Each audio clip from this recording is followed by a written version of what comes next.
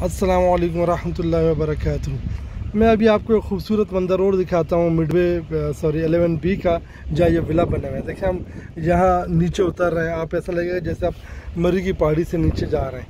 ये मेरे साथ देखते रहिएगा, ये कितनी खूबसूरत जगह है। ये मैं आपको दिखाऊँ